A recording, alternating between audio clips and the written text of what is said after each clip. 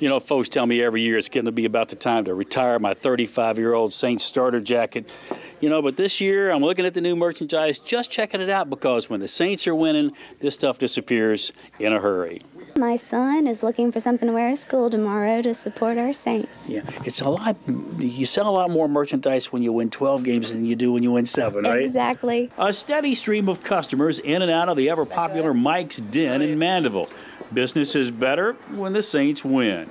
Being in the playoffs, going into January, still on a roll. Um, it's been it's been quite a different season that we, we hadn't anticipated this year. Long sleeve, maybe. Long sleeve for sure. Folks going to the Vikings game, gearing up for temperatures outside their dome, somewhere down around Yowie Kazowie. Going to be pretty frigid there, so a lot of people stocking up for um, some cold weather gear and whatnot. So I think everybody's fired up for this one, and, and you know I'm here to support them. So got you hat on. That's right. I'm ready to go.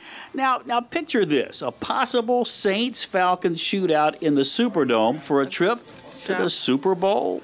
That'd be pretty good for your business, wouldn't it? I, th- I think that would be uh, night and day, no doubt. I'd even break out my old jacket for that.